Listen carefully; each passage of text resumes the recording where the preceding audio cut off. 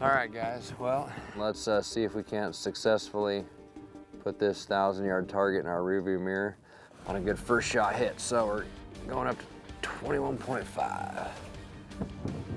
All right, we're gonna go ahead and increase our wind about a minute and a quarter.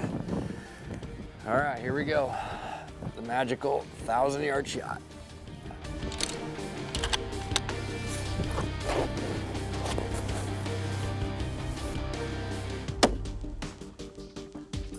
There we go.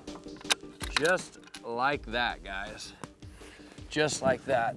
So that definitely shows that uh, you can overcome the apprehension of one of these rifles. Uh, what what they do, you know, what these custom rifles do when I get asked the most is uh, why buy one of these guns? And I typically say, well, you buy a custom gun because they're consistent.